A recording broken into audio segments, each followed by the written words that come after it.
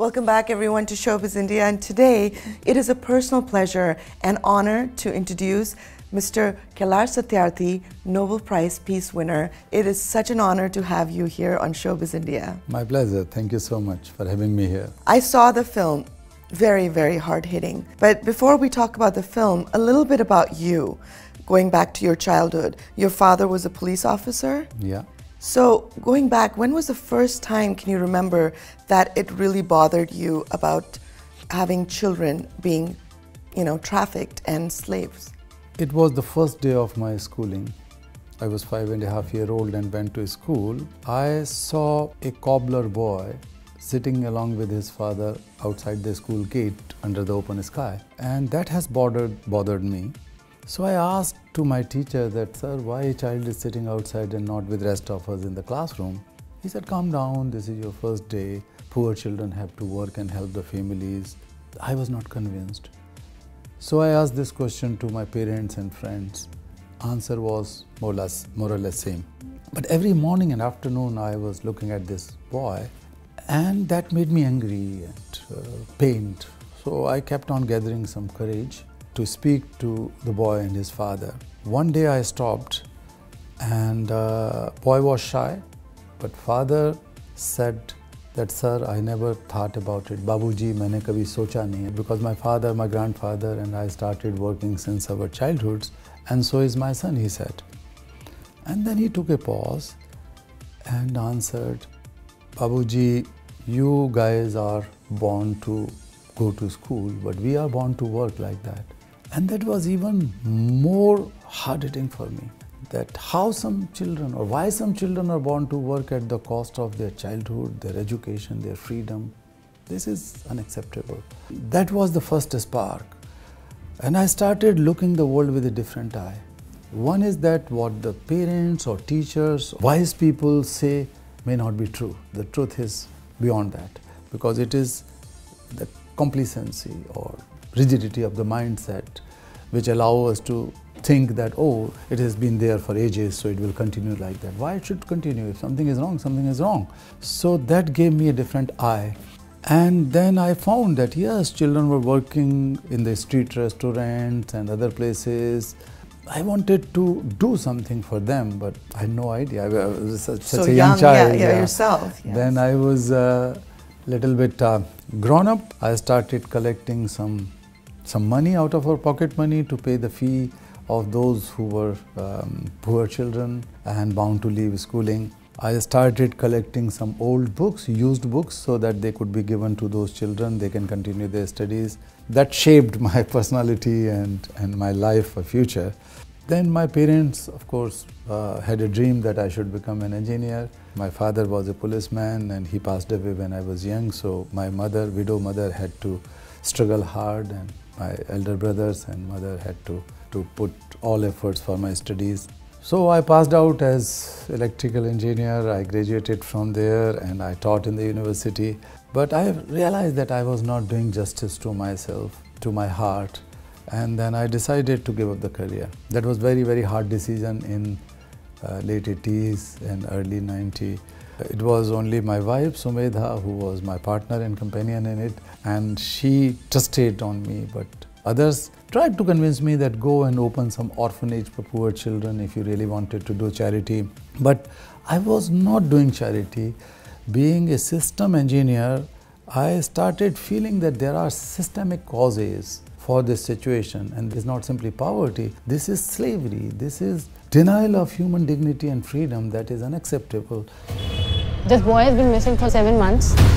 The child has been taken, taken to, Delhi. to Delhi. This is quite a dangerous area. We have been attacked there two times.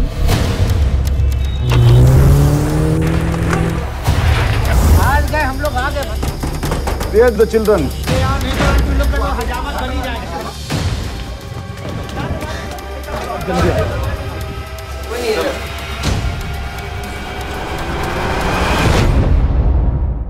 The real path was found when I rescued a group of children, women and men in 1981.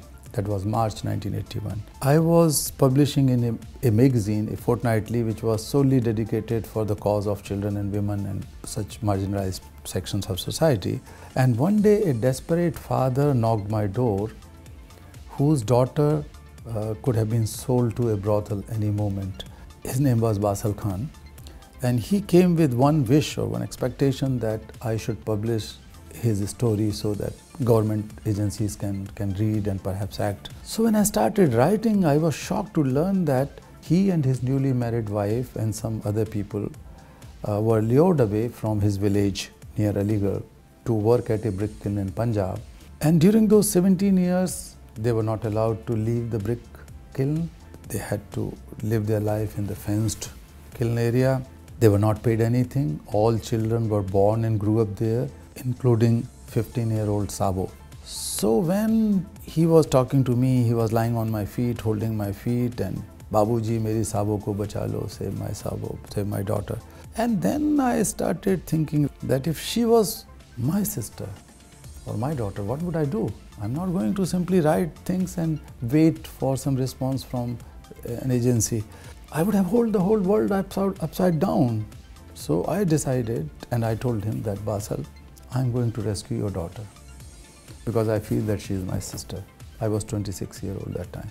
So it was a difficult decision because I had, I had, no idea what to do. So I collected some friends and I went to Sumedha, my wife, and requested her to give her wedding ornaments so that we can organize some logistics. Somehow we reached to that brick kiln and we were beaten up as shown briefly in, in the, the, film, in the documentary, yes. and we were thrown away. We had to come empty hands. But I did not give up. I spoke to some lawyer friends, and finally, we were able to free not only this beautiful girl, Sabo, but 36 children, women, and men. This was the first documented or recorded incident of freeing children and people from slavery in the contemporary world. That was picked up by the media, so the national and international media uh, brought this story out.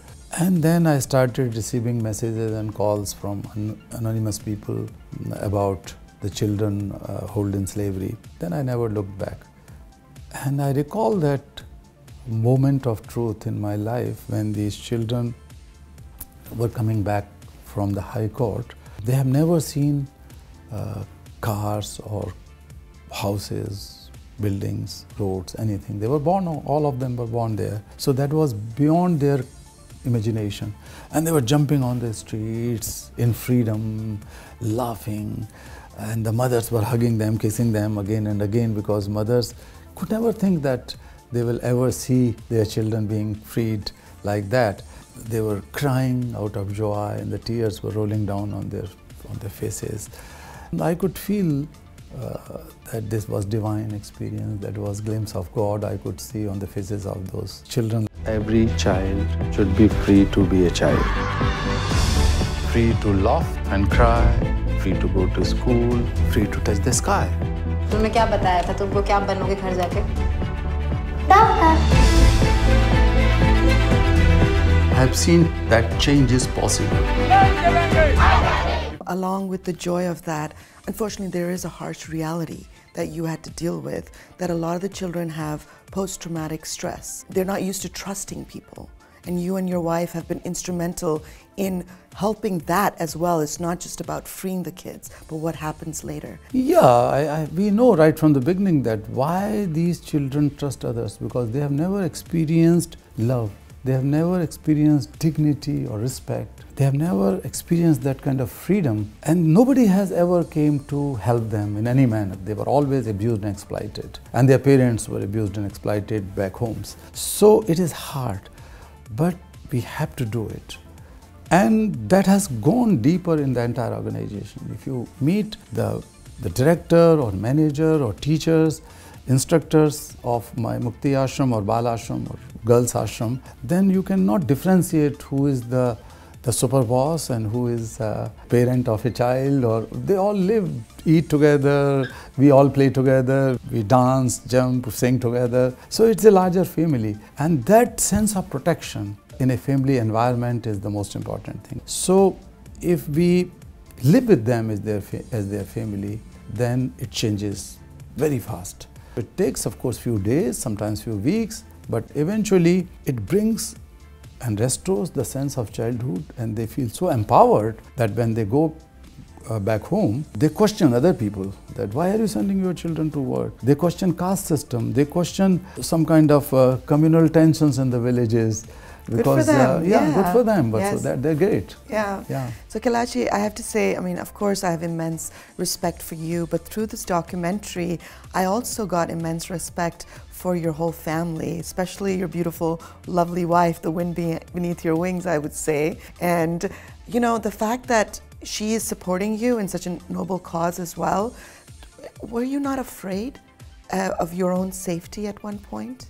I knew from the day one, even before the day one that I was embarking upon on an issue which is risky, which is dangerous because first of all it was a non-issue so I, I had to fight against the age-old mindset and complacency in the society but also the vested interest because these people earn huge money, illicit money by way of engaging them as child laborers or child slaves or making huge money out of child trafficking and human trafficking. Human trafficking is one of the three largest illicit trades in the world, and the latest figures globally show that it has grown as 150 billion dollar uh, illegal earning every year. If you try to compare with the money needed for education of the children in the world, it is merely 22 billion dollars. If we are able to mobilize 22 billion dollars additional funding for our children's education, all children would be attending primary schools every year. And the world is earning $150 billion. Uh, buying so and sad. selling of children it's so sad i knew that this is this was a dangerous path because i have to i was creating my own path there was no ready made path to walk on one has to put aside the fear first of all if you are committed to something then you have to be honest to that commitment and that honesty and commitment will rise you away above from any kind of fear. We knew it that it could happen with my family, with me, and my family members were also grown up. Grown up. My children grew up like that. And, and they I, both are very much um, social yeah, activists as well, are, which is are, wonderful. They, they but you got death threats. You broke your back. Yeah. You had a lot of physical injuries. Yes, it, it did uh, it happened. But each time they tried to kill me. Like I have my broken left foot, I have my broken soldier, I have my broken backbone or my head injuries and so on. But each time I was hospitalized, my wife or my children came to greet me, I was smiling because I, I felt, genuinely I felt, that I am much more powerful than the entire mafia gang they are frightened with my existence. They are frightened with me, so they wanted to, to kill me. They wanted to get rid of because they are frightened. So why I should become frightened? Why I should be afraid of this thing? Everybody will die one day. Why should they be when you are lying on bed uh, at the age of 80 or 90 and uh, suffering from different ailments? Why you take your cause and then see if you die or alive? And you can see that I'm fine, I'm alive, I'm still active and more active perhaps. Absolutely, and it's all those blessings of, I'm sure, thousands of children, Absolutely. over 80,000 children, 87,000. Yes. My God, that's such a such an amazing feat. What can we do as a society to help? What can people who are watching you right now? Well, uh, first of all, we should feel that no problem in the world is an isolated problem and can be solved in silo. The interconnectivity of humanity is key for our own survival. We have learned it partially after 9-11 that the problem could be born in one part of the world and other part of the world which used to feel that they live in the safe heaven has disproven this. And similarly, 20 years ago, people were not really so concerned about global warming or climate change. Now everybody is frightened that it has become suicidal. So we are all concerned about it. So sooner or later we reach to that situation because we are pushed towards the wall and then we wake up, oh yeah, we are close to the wall. We could be killed. So why not we learn now that we have to protect our children, we have to educate our children, we have to ensure their safety, freedom and education so that we can create a healthier world. Healthy in the sense of healthy society uh, which is not driven by uh, by narrow mindset, which is not driven by uh, fundamentalism of any kind or uh, violent extremism, where the people should be more compassionate and live with a sense of mutual responsibility. So that world could be created only when we begin with the children. That is, that is very fundamental. But as consumers, people can play a very important role. You can ask to your shopkeeper when you buy your shoe pair or if you buy your apparels or any other things, ask whether you have a guarantee that they are not produced by child laborers. That person would be shocked. What are you talking, madam? But you have to say, yes, I, I wanted to buy only those things which are free of child labor. Then he may pick up the phone call and ask to someone else that there is a lady came with this question, how to answer. And the discussion begin. Awareness is the first step towards transformation or social change. So we have to begin with creating awareness, asking questions. Why is matters a lot. As responsible consumers, one can write and ask to the president of a company that how would you guarantee that uh, your supply chain does not engage child labor. Demands could not be put aside by any company anywhere in the world. And if it goes in thousands or hundreds of thousands and millions, then definitely they have to go back and see whether the supply chains are clean or not. So we have to put some pressure on them. And we have to also encourage those businesses which are genuinely free of child labor and wanted to be genuine. So that is another possibility. As citizen, one should raise this issue with the local politicians, the congressmen, senators. Once in a while, one can write to the White House. You are the part of many of the decisions taken, including the commitment of sustainable development goals, which calls for total eradication of child labor by year 2025. So in next few years, seven years, the child labor has to be completely eradicated. And that is the collective responsibility of the President of America and the President of Sudan or Prime Minister of India or Prime Minister of Pakistan or whosoever in the world, everybody is collective, collectively responsible to fulfill that commitment we made for our children in the United Nations. So these questions could be asked by citizens and that will help in creating much more genuine global citizenship uh, with a sense of mutual respect and responsibility. One can definitely do smaller things, write blogs, speak out in your own small schools, colleges, universities, talk to the people. There are so many ways to raise this voice because we have to realize that civilization and slavery should not coexist. If we still have one single child slave anywhere on the earth, means we are not yet completely civilized. We are not yet cultured. If one single child is in danger anywhere, means the world is not safe. Because one family member of the human family is still unsafe, and that could be a child in Syria or in Yemen or in Afghanistan or anywhere in the world, then the world is not safe. अभी सब लोग कोई डर रहा है तुम लोग डर रहे हो डरो नहीं I have seen corruption, injured children with broken spirits. My colleagues and I have freed over 80,000 children. But that is not enough. I have launched a campaign which has been also uh, briefly um, mentioned in the film 100 million for 100 million. 100 million children, young people, are victims of violence victims of war and insurgencies and conflicts, victims of mass scale migration or displacement due to global warming, victims of acute poverty. 100 million children are denied their childhood. On the other hand, world is so rich with 3 billion young people who are full with energy and enthusiasm, courage, they have a strong element of idealism to do something good for the society. They, if they are given challenge, they are ready to accept it to make this world a better place. So I launched Human History's most ambitious and biggest ever campaign. 100 million young people from schools, colleges, universities, from neighborhoods should take the lead. They should be the champions and change makers for the cause of 100 million left out sisters and brothers of them. So this way I'm addressing directly 200 million youth of the world and indirectly all their families.